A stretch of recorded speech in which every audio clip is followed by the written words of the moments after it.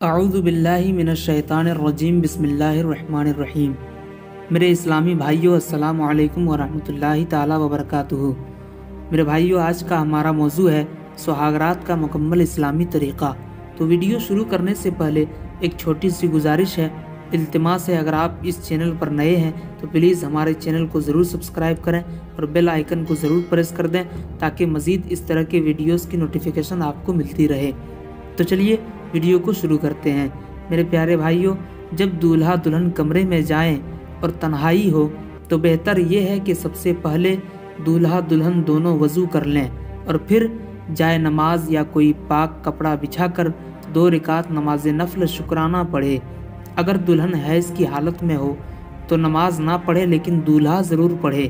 اس لیے کہ حضرت عبداللہ ابن مسعود فرماتے ہیں کہ ایک شخص نے ان سے بیان کیا کہ میں نے ایک جوان لڑکی سے نکاح کر لیا ہے اور مجھے اندیشہ ہے کہ وہ مجھے پسند نہیں کرے گی۔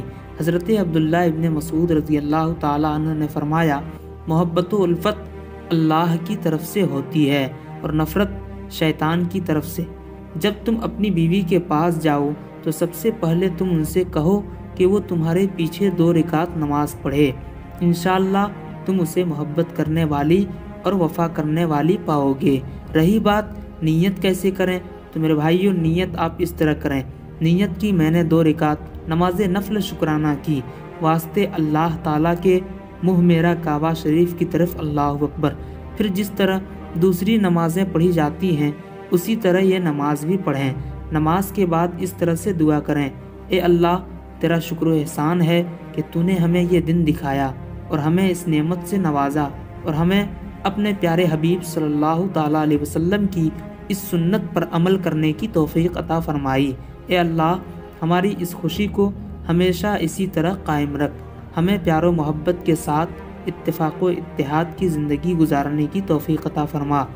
اے رب قدیر، ہمیں نیک اور صالح فرما بردار اولاد عطا فرما۔ اور ہم پر اپنی رحمت ہمیشہ قائم رکھ اور ہمیں ایمان کے ساتھ سلامت رکھ۔ نماز اور دعا پڑھ لینے کے بعد دلہن دولہا اطمینان و سکون کے ساتھ بیٹھ جائے۔ پھر اس کے بعد دولہا اپنی دلہن کے پیشانی کے تھوڑے سے بال اپنے سیدھے ہاتھ میں محبت بھرے انداز میں پکڑے اور یہ دعا پڑھے۔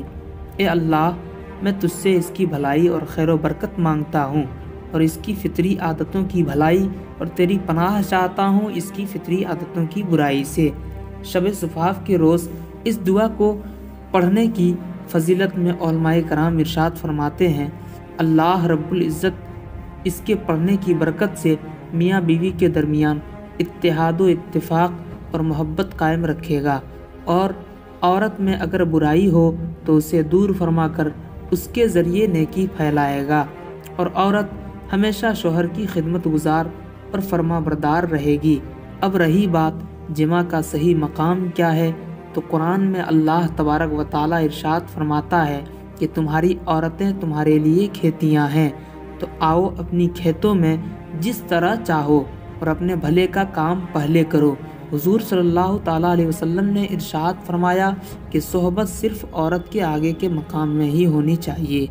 چاہے آگے سے ہو یا پیچھے سے، دائیں سے ہو یا بائیں سے، جس طرح کوئی اپنی کھیت میں جس طرف سے آنا چاہے، وہ آ سکتا ہے۔ اسی طرح اس کی بیوی اس کے لیے کھیت کی مانند ہے۔ اس سے صحبت کسی بھی سمت سے کی جا سکتی ہے، لیکن صحبت فرج میں ہی ہونی چاہیے۔ اب رہی بات کہ مباشرت کریں کیسے سہاگرات میں۔ تو میرے بھائیوں پہلے آپ بوسو کنار کریں، اپنی بیوی کے گردن پہ مس کریں، اس کی پیشانی پہ، اس کے ہونٹوں پر۔